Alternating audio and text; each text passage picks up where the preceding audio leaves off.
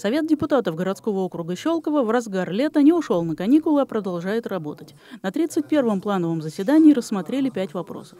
В частности, приняли положение об общественном контроле деятельности органов местного самоуправления общественными организациями. Документ регламентирует, на что они имеют право, на что не имеют, какие документы и сведения могут затребовать и так далее.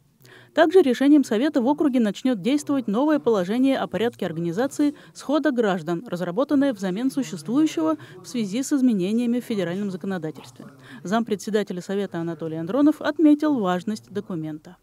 Положение о сходе граждан. Мы его привели в соответствии с законодательством, когда сход граждан под эгидой главы может проводиться не только в каком-то конкретном населенном пункте, но и в части его, ну, просто при определенной организации. Мы привели в соответствие наше положение, которое расширяет полномочия граждан.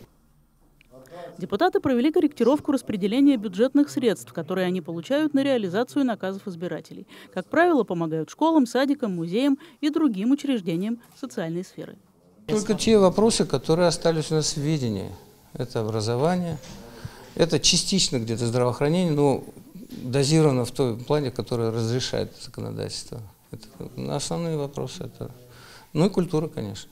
Также Совет депутатов перенес дату празднования Дня городского округа Щелково и Дня города Щелково с конца августа на вторую субботу сентября в связи с ограничениями на проведение массовых мероприятий. Праздник пройдет 11 сентября. Ирина Микеда, Александр Аржевский, Щелковское телевидение.